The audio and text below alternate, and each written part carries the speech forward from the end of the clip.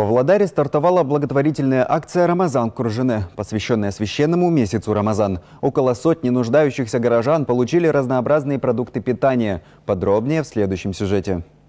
По случаю начала священного месяца коллектив мечети совместно со спонсорами раздал нуждающимся 100 продуктовых наборов. Эту инициативу также поддержали местные мечети Экибастуза и Аксу. Сегодня у нас первая пятница священного Рамадана. Мы собрали благотворительную помощь от неравнодушных людей и коллектива мечети имени Машхуджу Супа, которую получат нуждающиеся. Также подобные акции будут проходить во всех мечетях региона.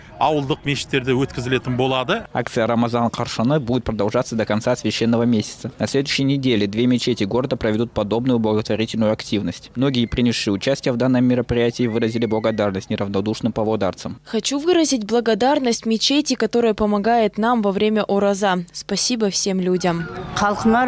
Рамазан – месяц благотворительности и добрых дел. В это время пожертвование и помощь людям считается благим делом. Главный имам региона призвал мусульман проявить доброту друг к другу и быть в числе тех, кто помогает. Рамадан – это месяц милосердия, когда люди помогают друг другу. Поэтому мы призываем всех предпринимателей и обычных горожан помогать всем нуждающимся. По традиции было принято считать, что в эти священные даты открывается дверь рая и закрывается дверь ада, и следует совершать как можно больше положительных вещей.